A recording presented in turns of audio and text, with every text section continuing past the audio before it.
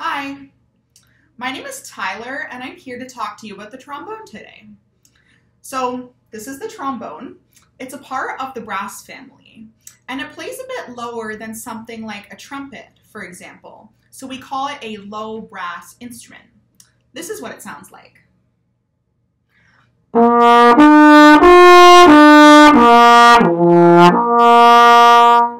The trombone has several different parts. One of those is the lead pipe. This is where you'll insert the mouthpiece. To create a sound on the trombone, you'll need to vibrate your lips into the mouthpiece. Once you've done that, all that will go all the way through the slide and in the trombone until it reaches the bell. This is where the sound actually comes out for everyone to hear.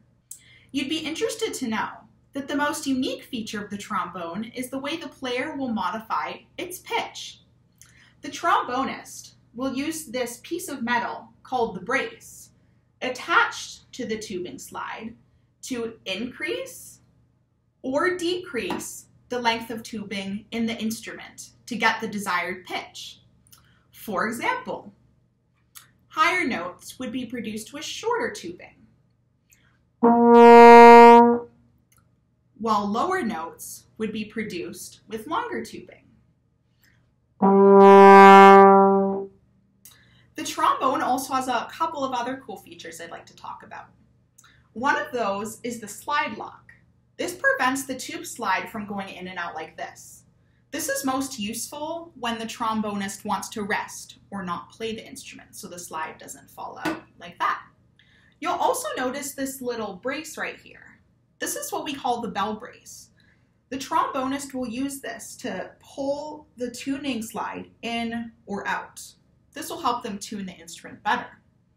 There's also this puck-like device here called the counterweight.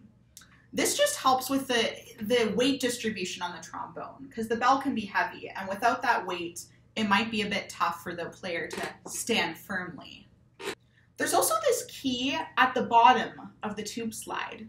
This is what we call the water key.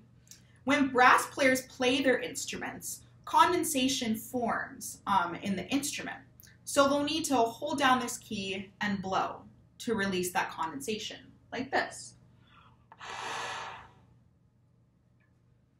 You'll also notice this little peg here.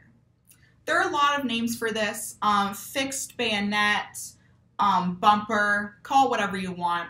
This is just to prevent the trombone from getting damaged when you put it down. Those are all the parts of the trombone and some information about it. I hope you enjoyed it.